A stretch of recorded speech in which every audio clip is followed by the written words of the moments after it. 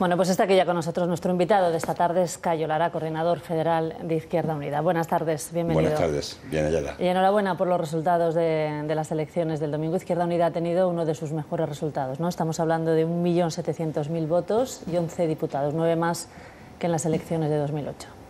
Sí, la verdad es que ha sido un... Yo dije cuando hice la comparecencia en la noche electoral ¿no? Que, que, no sabe la gente lo que se agradece una alegría en la casa de los pobres. ¿no?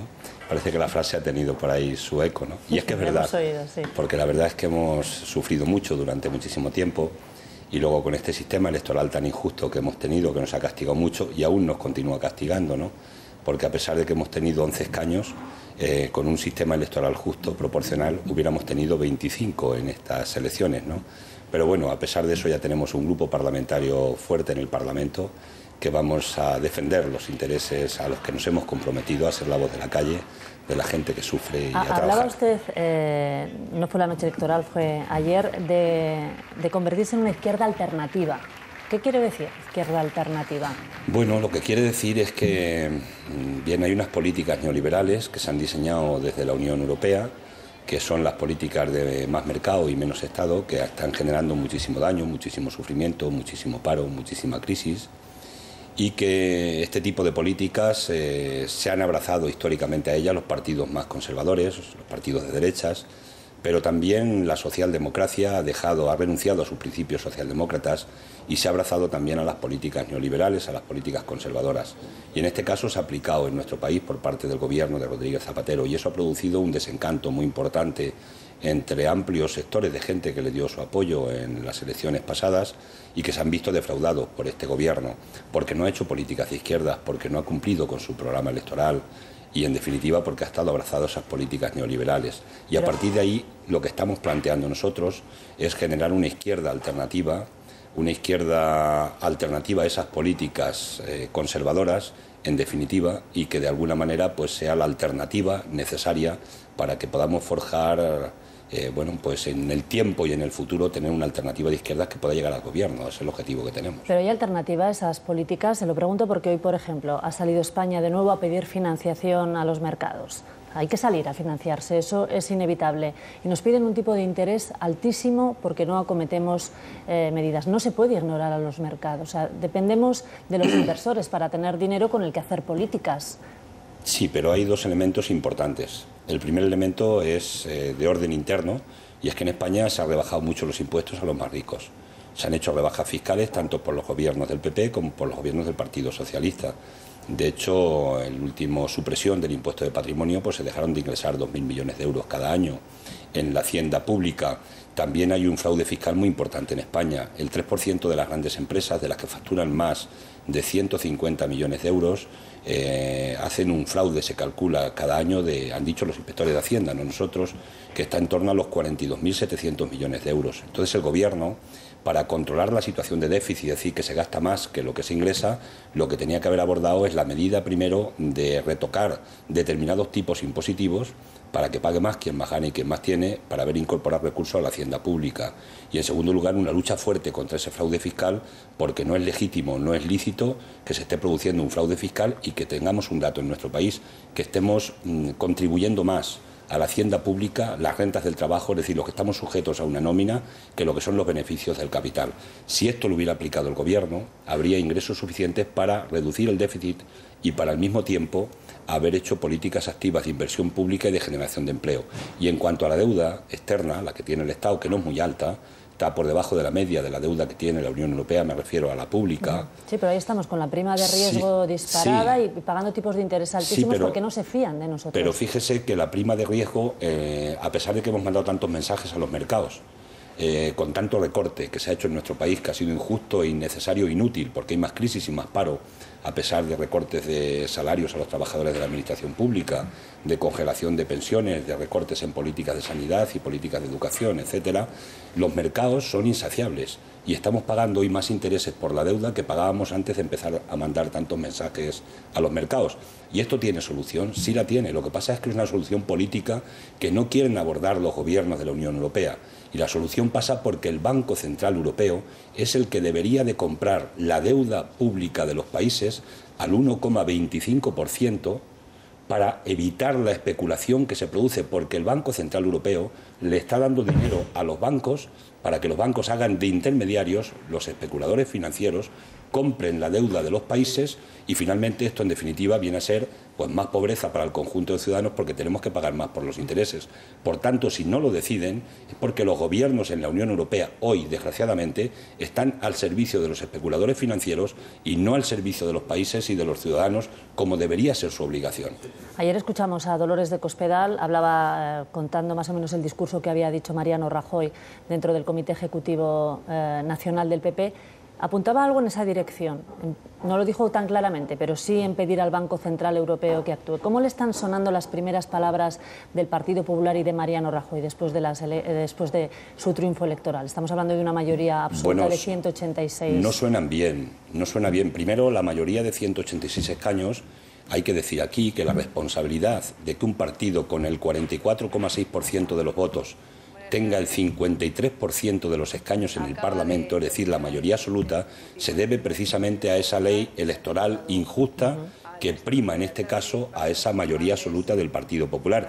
Esta es una responsabilidad del gobierno de Rodríguez Zapatero del Partido Socialista que no ha querido modificar la ley electoral y hoy que nadie se eche las manos en la cabeza, a la cabeza, porque si hubieran modificado esa ley electoral, hoy el PP tendría 159 escaños con una ley proporcional justa en lugar de tener los 186 que tiene. Digo esto porque es importante que lo conozcan los televidentes, ¿no?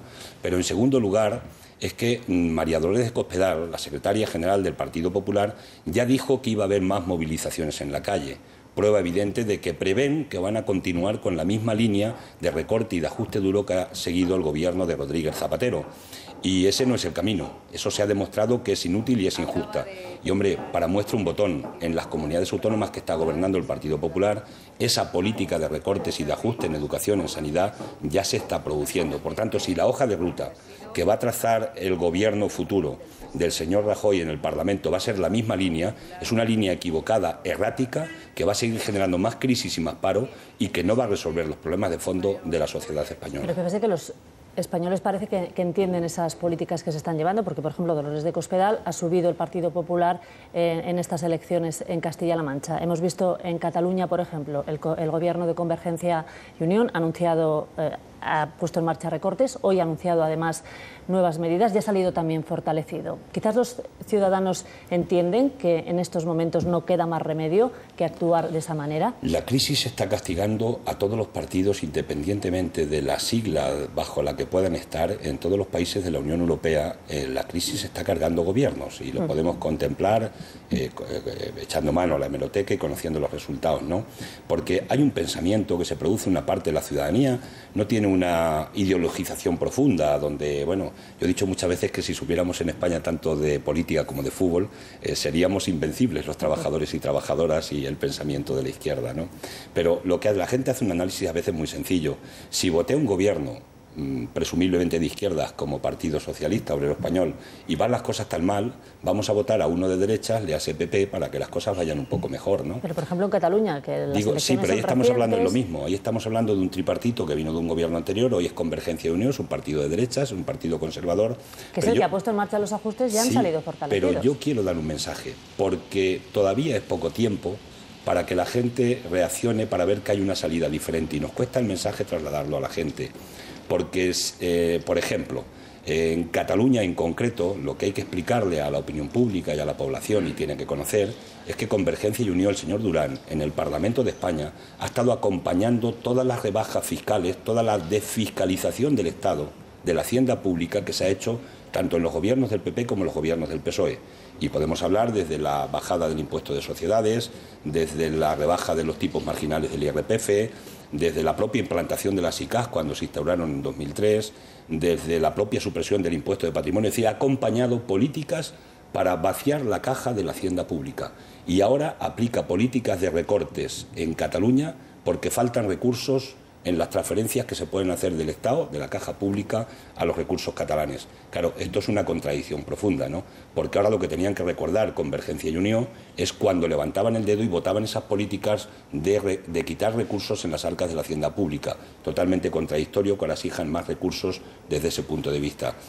Eh, pero este mensaje yo creo que no hemos sido capaces de trasladarlo todavía al conjunto de la ciudadanía, al conjunto de Cataluña, y ese movimiento que se ha producido allí, pues yo creo que tiene mucho que ver con esa posición, pero también con una posición del famoso pacto fiscal que viene a plantear el convergencia y unión de cara al conjunto del Estado español y que de alguna manera pues también anida en el pensamiento de determinada gente de, bueno, con estos vamos a tener más dinero de Madrid, vamos a votarles para que traigan más de Madrid. No es muy simple a veces, a veces hay análisis que son mucho más sencillos tiene muchas que, la complejidad, vertientes, que la complejidad de todo un análisis Pero ¿no cree usted que la gente entiende que en momentos de crisis como este hay que sacrificarse de alguna manera. Aquí hay muchas tardes corresponsales extranjeros y dicen en España falta un discurso, dicen algunos, que es el de sangre, sudor y lágrimas. En este momento no queda más remedio que esto. Sí, pero hubo un momento determinado, es que lo primero es que quién se está sacrificando.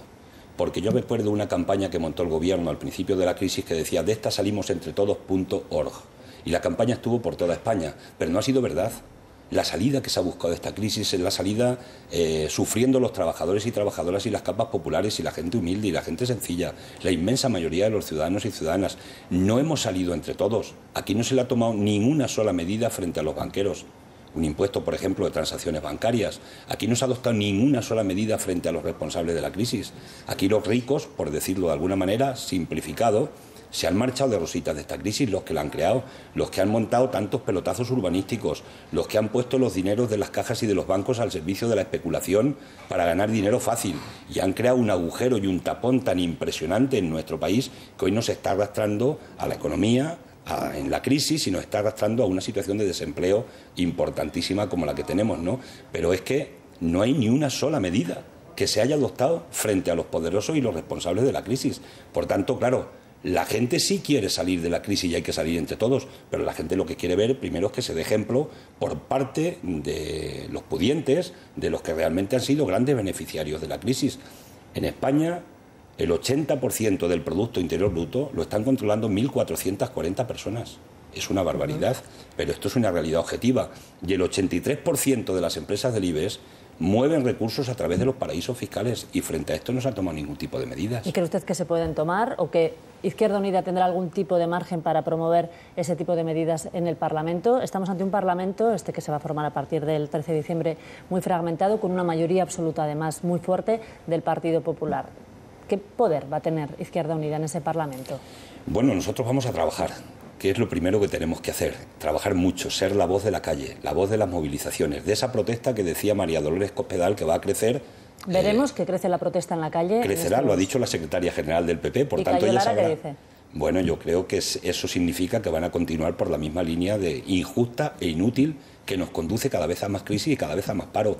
Es que hay que adoptar medidas diferentes, hay que ir a un nuevo modelo productivo en nuestro país, que por ejemplo uno de los elementos, hoy que se acaba de salvar, el Banco de Valencia, que volvemos a ponerle recurso público para tapar los agujeritos o los agujerazos que algunos han hecho, que son por cierto los que se blindan grandes pensiones, los que se blindan grandes salarios y los que todavía no se han sentado en ningún banquillo de acusados. Esto es una cosa curiosa en nuestro país. Bien, pues eh, eh, lo que nosotros planteamos es que frente a esa situación, ¿por qué no se ha planteado ya una banca pública? Yo llevo diciendo durante toda la campaña... Eso, ese es su discurso, pero ¿podrá eh, lograr alguno de sus objetivos Izquierda Unida en esta legislatura? Es muy difícil, es muy difícil porque hay un muro de contención de 186 diputados del Partido Popular y salvo que el Partido Popular quiera modificar esas políticas, es difícil que las podamos modificar. Ahora, lo cierto es que la voz de la calle, los sindicatos, las asociaciones, la gente que está sufriendo directamente lo que es la política de recortes y de ajuste duro, yo pienso que va a continuar en las movilizaciones y el gobierno tendrá que terminar por ser sensible a determinados planteamientos porque de lo contrario, además, continuará más la crisis y continuará más el paro.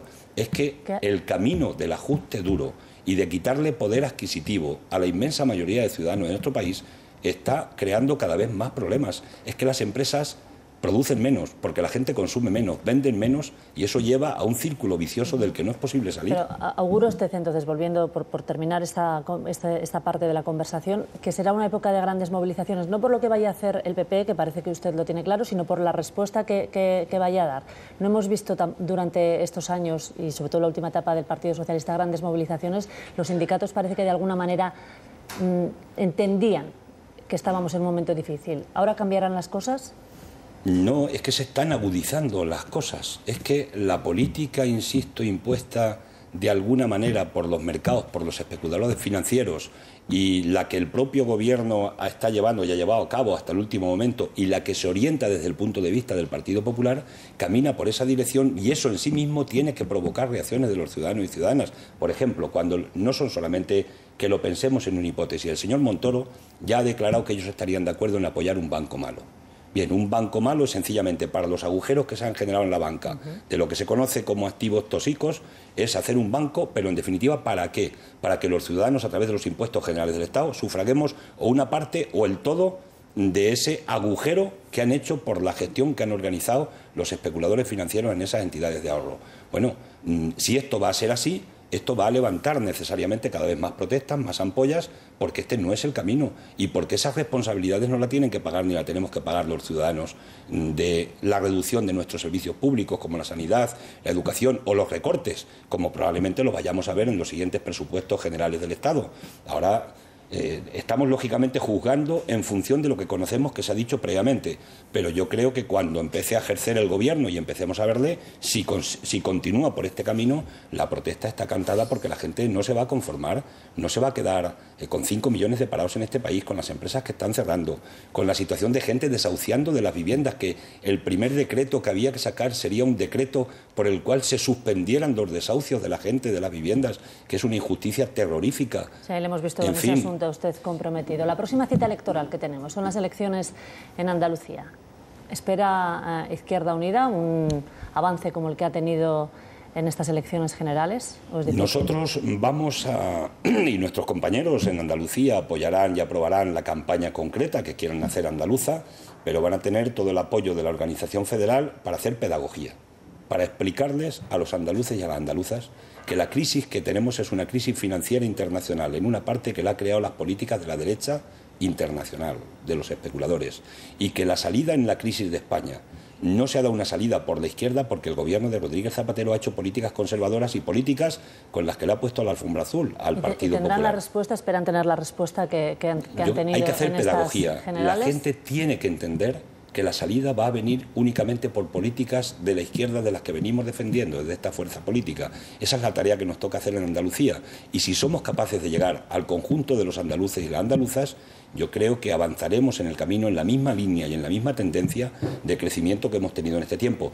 Porque la gente cuando vota Izquierda Unida tenemos un votante muy crítico no nos votan con facilidad, ¿eh? cuesta votar a Izquierda Unida y la gente cuando termina votándonos es porque ha llegado a un nivel de confianza de que entiende, cree en el mensaje y por tanto se apuesta y apunta por ese mensaje. Entonces, en la misma tendencia que hemos tenido en estas elecciones generales, yo espero que la vamos a tener también en las andaluzas, por el bien de los andaluces y las andaluzas. Estamos terminando ya, unos segundos. ¿Tienen decidido ya quién será el portavoz en el Congreso de los Diputados del Grupo No, no, no está decidido, lo decidiremos en uno de los órganos ejecutivos de la organización. ¿Podemos pensar en una bicefalia, usted y el señor Llamazares? No, no, hemos tenido bicefalia en un tiempo determinado, donde yo he estado de coordinador, él ha sido el portavoz del grupo parlamentario, ha funcionado muy bien, eso lo saben todos los españoles y las españolas, y por tanto el entendimiento de los 11 compañeros y compañeras que vamos a estar en el grupo parlamentario va a ser un buen entendimiento porque vamos a tener un eje, un denominador común, que es trabajo, trabajo y trabajo. Y en ese sentido, cuando se trabaja mucho, la verdad es que los problemillas que pueda haber